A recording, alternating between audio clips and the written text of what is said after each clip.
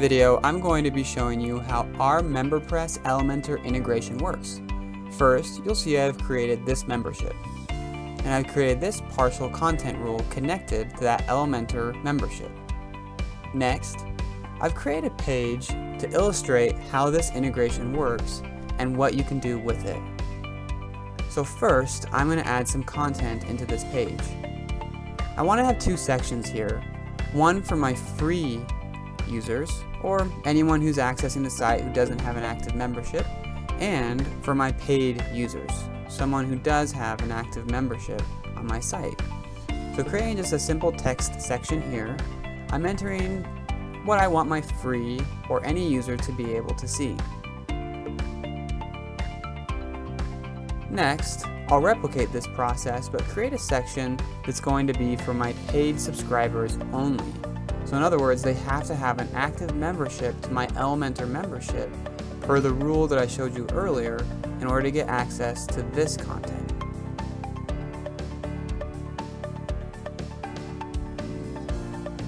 And with that created, I'm going to show you where you can access the integration.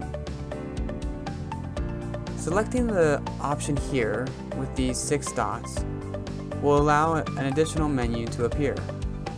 Clicking the MemberPress tab here, you see the options.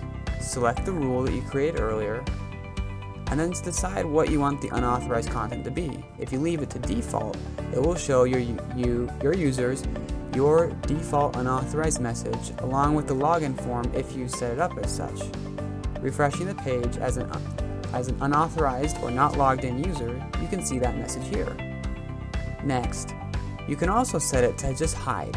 So in other words, the content that I've selected here will just be hidden completely from the user so they can't see it. Refreshing the page, you can see that it's completely hidden. Next, you can set a custom message by selecting display message and then entering a message here. So refreshing the page, you can see that custom unauthorized message shows up there. Now let me sign up as a user to this Elementor membership. I've entered my information there, and now I'm going to submit the payment, and with the payment submitted, I get to the thank you page. Now, let me go back to that page as this user. As you can see, I can access it. Thank you.